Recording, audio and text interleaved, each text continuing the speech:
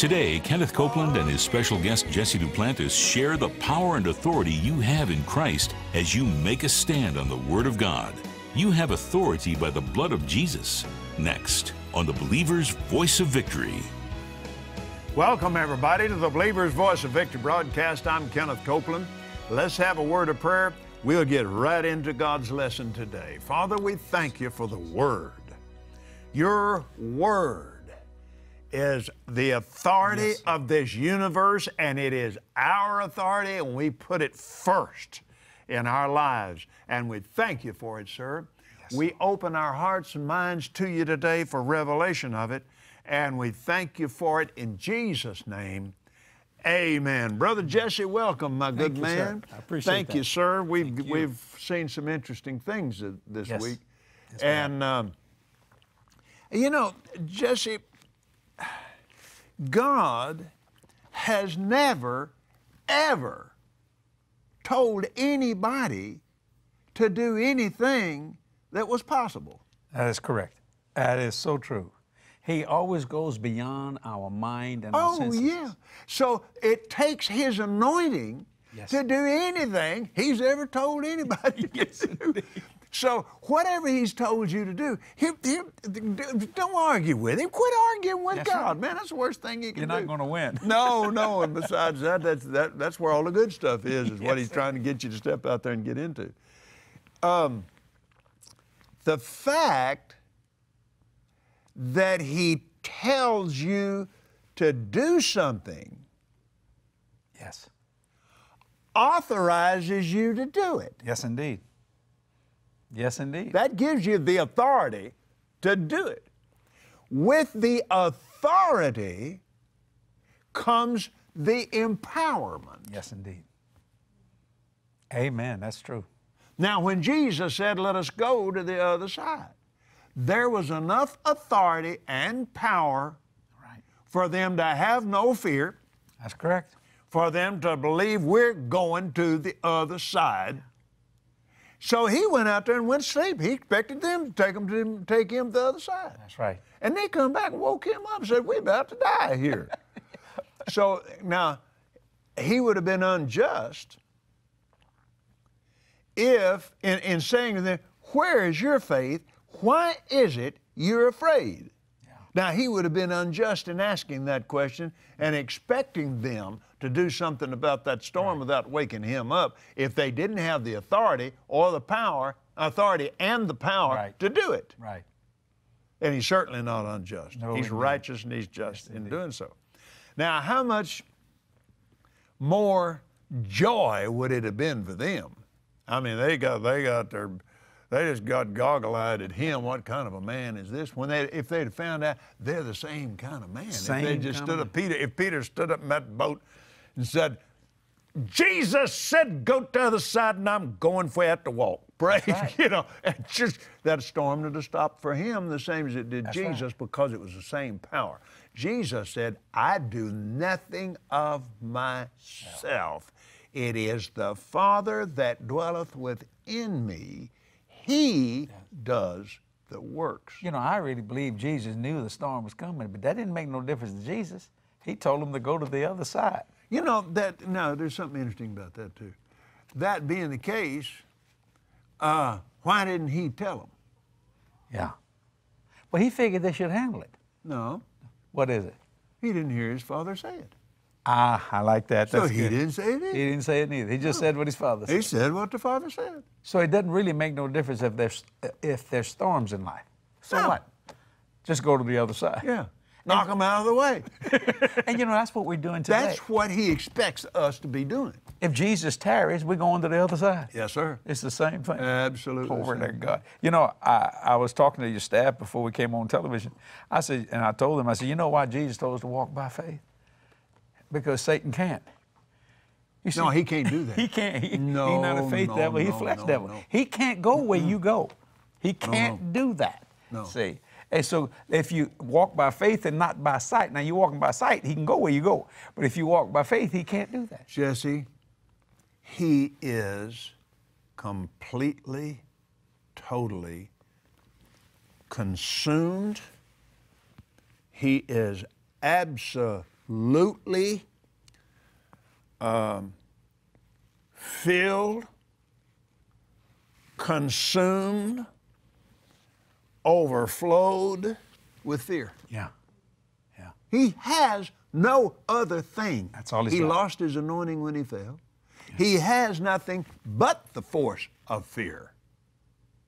And so when you resist him, he flees. He, he can't help it. See, there's a force in him that even if he tried to stand and you speak in the name of Jesus, the force coming out of you is so strong, the force inside him Amen. just sucks him out the way. He, he, can't, he can't help it. He can't. It, it, he's got to He go. can make a decision to stand up against you, and it doesn't work because he doesn't have the power to make that decision work.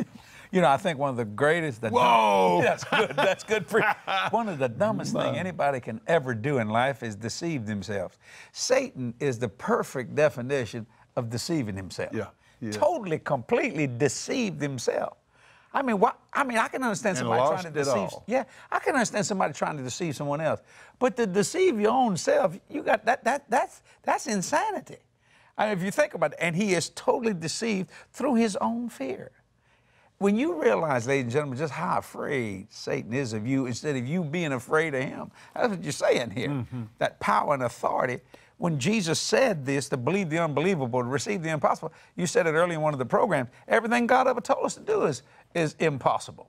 But that's the way it's supposed to be. you know, that devil said to Jesus, We know who you are, Son of God. Have you come to torment us? Yeah. You know, I walked into a, uh, I was in uh, Jamaica, and uh, I was preaching up in the mountains, up in in some really really back uh, places that, and some, some I was the first light skinned man some of those people had ever ever seen, and. Uh, my, the pastor picked me up to take me to the service that night. And he wanted to stop off and pray for somebody, and I agreed. We got out of the car, started up toward the house. He said, uh, Brother Copeland, she's mad. I said, What? he said, She's mad. She, she crazy. and come to find out, she's completely, totally um, demon possessed. Yeah. She'd been squatted in a bed for 18 years. Anyway, walked in there. And when and I walked in, I had he was on one side, another man on the other side of me walked in there. And uh, she, she turned to his shoe and looking at me. She turned her head over to this other uh, and and said, uh, "You must be Brother Weber." And uh, he said, "No, ma'am, I'm not." She looked at the other, passed me by and looked at the other and said, You must be Oral Roberts.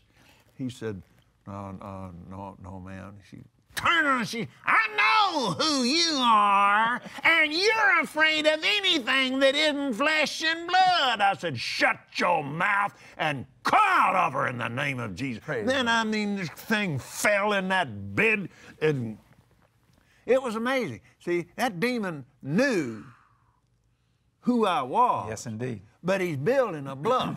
Right. See, he's trying to con me around here a little Yeah, bit. he's just got a facade. And and I I, I didn't have any fear of him. And there was a time when I did, but God had taught me better Sure. than that. See. Yes, indeed. And uh, it was just amazing thing, Jesse. And the word of the Lord had come to me already and told me what to say to her. I just told her, I said, now, baby, I love you. And Jesus loves you so much. And she just wilted, wilted and just melted and just fell over. And, and, and, and God just healed her and delivered her right there of that horrible thing. It kind of reminded me of the scripture that Jesus saw that lady with that infirmity for 18 years. Was it 18 Yeah. years? Same thing. He Yeah, said, same thing. And he said this, ought not this woman be loosed? You know, that has struck me for many, many years. And when I see people in bondage, and it comes to me, ought not they be loosed? I said, well, yeah. He said, well, then loose them. Yeah, amen. You know, I know. It's our responsibility. And that devil was, see, that devil was afraid. Yes. He, he was afraid. And he's trying to build a case against me. He's trying to get me to, to, back off Right. because he knew if I said it, he'd had it. Yeah, He saw the power in you. He, it's amazing how a devil can acknowledge the power of God in you and a Christian won't. Does that make any sense? I mean, I've seen some people, they see the power of God and they go, Well, I know, I see it, but I don't believe it. That demon's not, he's, he's not looking on your flesh. Right. And uh, there was, you remember Brother Savelle telling us about the time he was in that witch doctor's hut? Yes, indeed. And the witch doctor's talking to him about the spirits, and Jerry, Jerry was asking him different questions Mm-hmm. about them. And uh, he, Jerry asked him, he said, Well, are those, that the devil that uh, does these things with you and so is, are they here now? He said, Oh, no, they left when you came in. He said, They, they know you got the Holy Spirit. And that's something. That's And a blessing of God. And he said, they're, they're not the Holy Spirit. You have the Holy Spirit. And Brother Savelle, all he did was accept what God had already had given. Oh, yeah. And you did the same thing. And you know, it reminds me of something that happened. John Hagee and Diana Hagee came to New Orleans. That's about two years ago. And he said, Jesse, he, he wanted to go to eat at a certain place. I said, I'll take you out there. Let me be a blessing to you. So he's going to stay at the, he was staying at the Omni Hotel right there in the French Quarter. God is my witness. So we standing there, me and John Hagee. All right. And all of a sudden, this lady, this person comes up to Brother Hagee and says, Why are you in this town? I know why you're here. John looks at me and says, I think we got a devil on this side. Yeah. I mean, that devil knew John. Uh-huh. Now, he had never seen that person before in his life. I never had. Checking into a hotel, Satan getting nervous because he's so full of fear. Oh, man. He sees the power of God in people's lives. I got to go to this scripture that we've been talking about here, and we've been Yes, dealing sir. with that believe the unbelievable and receive the impossible. And we're using Mark chapter 10, verse 27. Uh, it says, And Jesus looking upon them saith, With men it is impossible, but not with God, for with God all things are possible. Now, Brother Copeland, in this passage of Scripture, he's first talking to the rich, rich man. He tells people how, how to under, how this can be the disciples can understand. And if you go past verse 27, then he starts talking about the hundredfold. So in this passage, he's dealing with unbelievable and impossible things. Yeah. He's linking them together. What I want to talk about today is a word that everybody's experienced.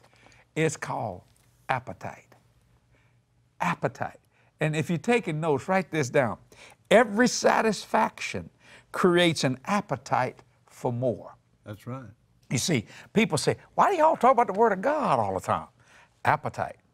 And from our appetite of wanting to know God and for God to know us, we receive a hunger. We hunger and thirst after righteousness, you see. So uh, I- people say, I don't see how y'all can talk about God. I mean, I had one man say, I mean, I got a hard time going to church once a week, you know. I'm struggling with that. I said, because you have no appetite. When you have no appetite, you do not eat. You don't want nothing. Good said, taste and see that the, the Oh. Lord is good. Yes, indeed. So, what we're saying today is God has not only given us a hunger and a thirst for righteousness, but He's given us an appetite to believe the unbelievable and receive the impossible. I've had people come, and in fact, it, I've had people, uh, uh, not too long ago, someone said, uh, there going to be in any miracles at that believers convention? They're going to be, and watch this. You see, and, I, and, I, and the Lord said, appetite. They're already expecting something. So something has to be produced. Well, yes. Why? Because you see, wherever God is, there's a miracle in operation. You know, people ask me all the time, how come you can get someone to just come out of them pews so easy or out of those chairs uh, to, uh, to get saved so easily? And, you know, I said, I'll tell you what it is. I create appetite. Appetite, see, which creates hunger and thirst to come and receive this glorious gift, which is Jesus Christ. So when you understand what I'm saying, when if you if you're looking at that unbelievable, impossible thing, I just don't know how I, I can do that or receive that. It's because what you need to work on is your appetite. And your appetite comes from the Word of God. The closer you get to God, the more you want of Him the more the more you, you, you desire i mean i have come out of a church out of a service soaking wet from preaching teaching now i mean dog tired like they say you know watch this and go to my room and lay down on the bed and pick up my bible. Oh, yeah. and, you see, and people would say no you just did you just did two hours or whatever. yeah, but, but see it's the appetite of knowing what is in here that creates the hunger and the thirst, not only for righteousness, but for wisdom. You know, I believe Brother Creflo Dollar, one of his foundational scriptures of his ministry is wisdom is the principal thing. You get wisdom, you get understanding. You see, and what people don't seem to understand is this, this appetite is never satisfied, and it will never be. I can't wait till I get to heaven. And, you know, and if you think we're going to quit studying the Word of God when we get to heaven, we got, I mean, unbelievable. It's unimaginable time in terms of years that God, Jesus is going to sit down and says, think I'm going to have a Bible study oh. at Jesse's house. Come on, Think about that. And the house is big enough to fit anybody that wants to get in there. Because I one thing about the Lord, He said, I'll give you the desires of your heart. Now, you know, some people say, I don't believe that. I said, What I do, you know, I tell people, I don't talk about it much. I just tell people that Jesus is coming. But I did go to heaven. I've been in that lineage of people that's been taken. I, why me? Well, I don't know why me, but I'm just saying he, he's no respecter person. But I realized I literally sat on a windowsill with the Apostle Paul. Good. And fascinated me. And he said this, these exact words. You, you don't have to believe this. It's still true anyhow. He said, What are they saying about my gospel? He still calls it his gospel. And I told him this. I said, I'll tell you, I preach everything you say. I said, I want to. And then he said, Would you correct something for me? Now, people, whether you believe it or not, this is just simple, the truth. This is unbelievably impossible, but it happened. It's doable. He said, You know, in my scripture when I was writing to the church, he said, Our light affliction is but for a moment. He said, Have you read that? I said, Yes, sir. And I said, In fact, I preached on that. He said, The church has turned it into a lifetime. And then he leaned over and put his hand on my hand like that. He said, Change it back to a moment. So when I left there, I had a directive from the Apostle Paul to change it back to a moment because let me tell you something. In a moment of time, you finish with the devil. You see, Oh, the yeah. unbelievable, imp- it's gone. You see, he said, our light affliction. You know, I got to thinking, he said he was beat five times with rods, he left for dead, stoned. He called it light affliction. We wouldn't call that that today. We think that's just heavy persecution. But when you are at the point of believing the unbelievable and receiving the impossible, anything Satan can come up with in your mind is just light affliction. It doesn't hold a light Yes. to the glory of the- this God. Yes. Yeah. Yeah. And, and that a directive. And then when the Lord sent me back, he, he watch this. I thought I'd gonna get some major revelation. You know what I'm saying? You know, he said, "Go tell my people I'm coming." And you know, in my mind, you know, one thing you don't do is think in front of God because He hears your thoughts. Mm-hmm. I thought to myself, they already know that. And He looked at me and got firm. He said, "No, they don't." You go tell them. And how many people today, right now, that's watching this telecast, don't ha- even think about the coming of the Lord? It's not even on their mind. I'm talking about Christian people. Mm-hmm, mm-hmm. Because you see, the appetite is not there looking. They'll talk about it if you bring it up. Yes. Otherwise, they ain't gonna think about it all day. When I married Kathy, the day before, I had an appetite. I saying, bless God, I can't, God, I want that woman, man. I, I, I, you know, I said, my God, I got 10 more hours. Bless God. I, um, I, I, I was waiting to, to meet my bride. You see what I'm saying? Anticipation. Yes, anticipation. And out of anticipation, expectation that we would start our life together. Well, ladies and gentlemen, listen to me. God is right now creating a greater appetite in you for you to receive, to believe the unbelievable and receive the impossible, to literally grasp it, and then let your hunger and thirst and sit. You know, Jesus talks about food quite a bit. He says, let's have this supper, this mass. Why? Because, you know, when you're at supper or when you're at dinner, you know, it, it's a pleasure. You're in fellowship if you're eating with people. You, you're taking care of the sustenance uh, that, that your body needs and all this kind of stuff. It's an appetite to know more. Brother Copeland, I, I, eh, my appetite is growing so much mm-hmm. that even when I, I sleep, I wake, I woke up last night and said, now listen, when, when I, I grabbed me a little like a recorder thing, said, I, I got to deal with this after I wake up. It's so much that it even goes to bed with me. It's in my thought processes while I'm sleeping. Should be. And it should be. And uh, people say, well, it's that joy you got. No, No, no, no. That joy was just it, it, that- that's that that's that gift given to me. That's the fruit of the spirit, joy. It's to know Him, to know Him, not to just believe in Him. I'm not just looking to believe in God. I want to know Him. Jesus said, He that hungers and thirsts for righteousness shall be filled. Yeah. Too much of the time, I was, God, I am so hungry. And, and the Lord corrected me one day. He said, Get over on the faith side on that. He said, You keep talking about the hunger, and I'm talking about you being filled. I like that. Now he said, Kenneth, you start believing for the filling, saying, Thank God I am full Amen. of your righteousness and your word. And, and then I noticed that stirred me up. I'd I was hungrier than I had been before, but I started being satisfied. Yes, indeed. Because stuff started coming, revelation started coming. You get over on the faith side of it. Oh, that's good. Instead of hanging out on how much I need Him, start measuring on how much I've got Him. Yeah. Oh, that's good. It makes a difference. It like changes a. It's like a cow chewing the cud. Yeah, yeah. And you swallow it, come back, you chew it again, you know what I'm saying? Until you get to such a fullness of this. Ladies and gentlemen, today is a miracle day for you. Mark my words, what you're hearing today is setting something up right now for you to receive what God has for you. You certainly deserve it. You've certainly waited long enough. Now, it's your responsibility to receive it. And that's why you're watching this telecast, so you can learn to receive. That's what you teach your partners, and I'm one of them.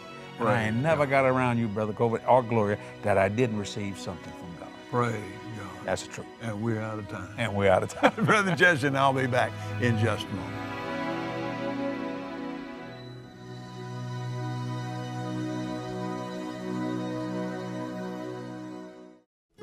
Wisdom is the principal thing. Therefore, get wisdom, and with all you're getting, get understanding. Proverbs 4 7 through 9. If you really want to get the wisdom of God, you'll have to do more than casually read the scriptures a few minutes a day. You'll have to feed on them day and night. You'll have to get rid of the rubbish you've been feeding into your consciousness by reprogramming your mind with the Word of God. Do whatever it takes to saturate yourself with the Word of God.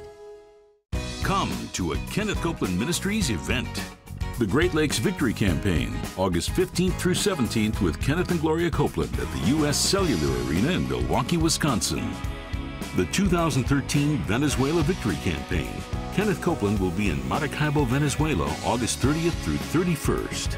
Living Victory East Coast Faith Encounter, Atlanta, Georgia, September 13th through 14th with Kenneth Copeland and Dr. Stephen and Kelly Swisher. Real. That which actually exists, occurs in fact, and is not imagined. True, pure, raw, and powerful is God's Word and authority. Break out of the mediocre and live your life in God's authority and power. Find strength, wisdom, healing, and success in the words of the most powerful book on the planet, the Bible. The Real Authority Package takes you to new levels of God centered living. Kenneth Copeland's two CD series, God's Word Final Authority, helps ground you in the roots of faith. Make sure everything you think, say, and do is based on the truth in God's Word. Jesse Duplantis' book, Distortion The Vanity of Genetically Altered Christianity, separates the real from the powerless. Don't let everything you see overwhelm you. Overwhelm it with the Word of God and faith. Open your heart and cultivate fearless faith.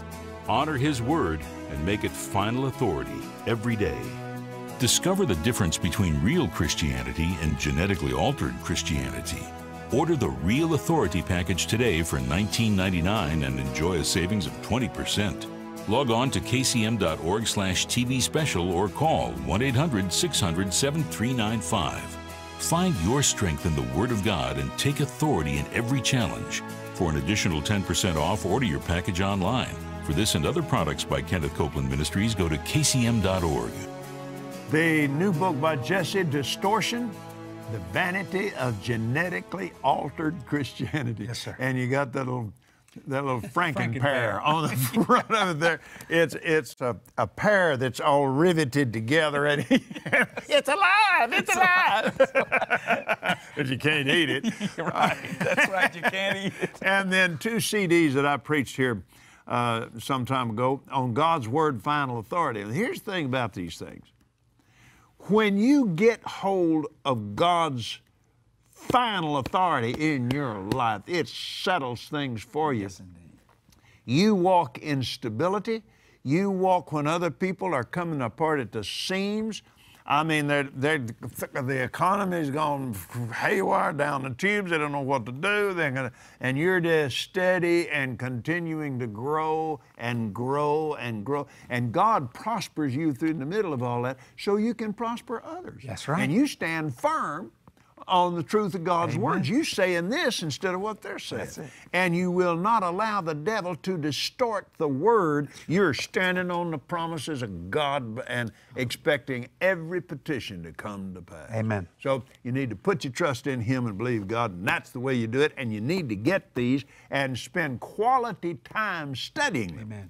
Amen.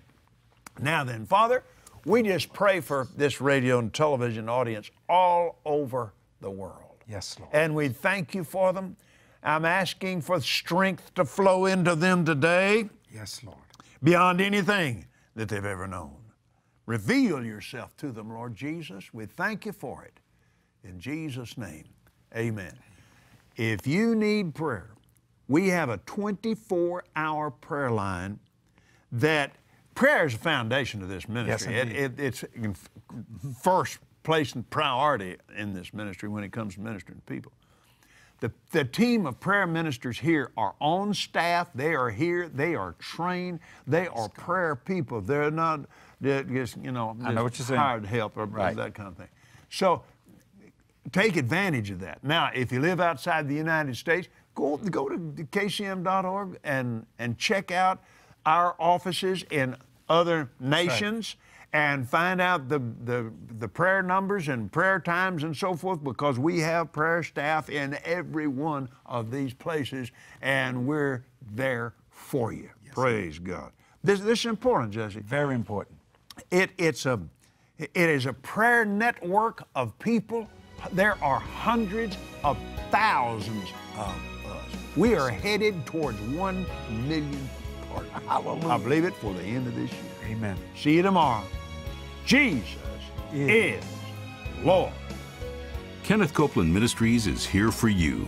The Believer's Voice of Victory is available on DVD or CD at kcm.org.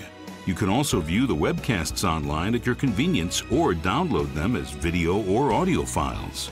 Continue to grow in God's Word and build your faith with this week's product offer. These word based teachings will help you live in victory. Order your copy today. Receive the great grace God is abounding toward you and live in the blessing.